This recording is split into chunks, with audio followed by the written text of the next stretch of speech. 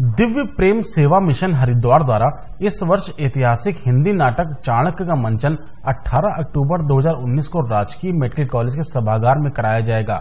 इसकी रूपरेखा तैयार करने के लिए मिशन की बांदा इकाई की बैठक हुई। बैठक की शुरुआत में मिशन के अनन्य सहयोगी महेंद्र देवपुरिया द्वारा दिव्य प्रेम सेवा मिशन के उद्देश्य पर प्रकाश डाला गया। व इसकी अब तक की यात्रा के बारे में सभी सदस्यों को अवगत कराया गया। इसके पश्चात मिशन के कार्यकर्ताओं एवं पदाधिकारियों को संबोधित करते हुए मिशन के संस्थापक आशीष गौतम ने बताया कि सीरियल व थिएटर के अंतर्राष्ट्रीय कलाकार मनोज जोशी अभिनीत चाणक्य का मंचन करने के लिए 25-30 कलाकार आएँगे। उन्होंने कहा कि इसके माध्यम से समाज को जोड़ना है, समाज सहयोग से चलता है और सहयोग के लिए समाज को प्रेरित करना है और इन सब में सेवा भाव प्रमुख है। बिना सेवा के मनुष्य का जीवन उद्देश्यहीन प्रतीत होता है। दिव्य प्रेम सेवा मिशन ने 22 वर्ष पूर्व इसी सेवा को दृष्टिगत रखते हुए कुष्ठ रोगियों के प्रति जो अभियान शुरू किया था, वह आज भी अनवरत जारी है और इसमें समाज का भरपूर सहयोग मिला है। श्री गौतम ने बैठक के माध्यम से लोगों से चाणक्य नाटक देखने की अपील की।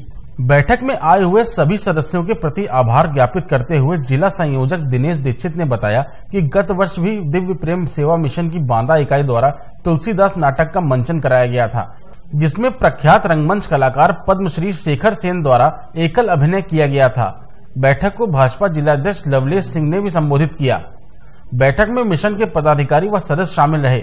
मनोज जैन, अमित सेठ भोलू, राजेश शुक्ला, सचिन चतुर्वेदी, रामेंद्र शर्मा, राम मिलन तिवारी, सुरेश कान्हा, पंकज गुप्ता, उमेश गुप्ता दया, स्वदेश गौरव शिवहरे गोलू, छंगा सिंह, आलोक सिंह, प्रेम नारायण द्विवेदी अमित द्विवेदी, ममता पांडे, राकेश सिंह, दीपक सिंह गौर, शिवचरण शुक्ला, जगत प्रसाद त्रिपाठी व रामेश्वर चंदेल इत्यादि उपस्थित रहे।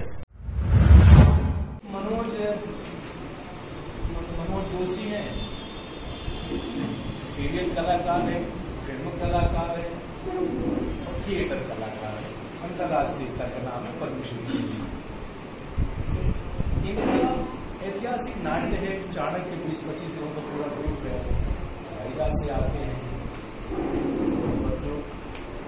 और कुल मिला के दिव्य प्रेम सेवा मिशन जो समर्पित है अपने नॉमिनल लेते हैं दूर। अपना तो खुद नहीं लेते खुद लेकिन स्टाफ है टीम में बीस पच्चीस को लेना पड़ता है सब तो ऐसे आदरणीय मनोज जोशी जी ने आपकी बांधा को दिया है सब दिनेश जी राजकुमार जी मैं ये सब हिम्मत की है। आगामी अठारह